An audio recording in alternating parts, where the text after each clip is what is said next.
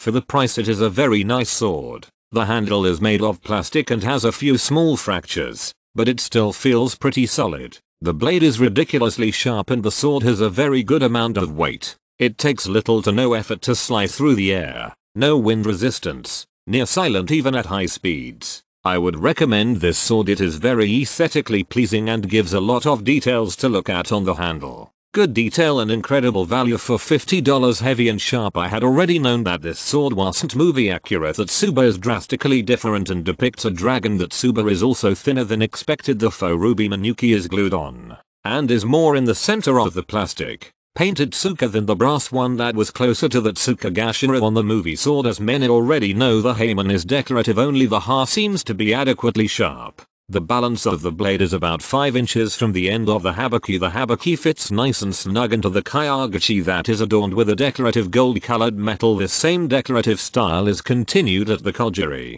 The saya has a nice smooth black finish and the sageo and Kurikata look rather nicely done. The sword also has a bo-hi that stops short of the kissaki. Overall I really like the look and feel of this sword. This is the second Makoto katana I have purchased. I love everything about the sword but the handle. It's cheap plastic and the paint looks like it was rolled on 30 years ago. I was hoping that it would look good on my wall. No chance of that but it will do for cosplay. It is sharp so I might like cutting something with it. LOL.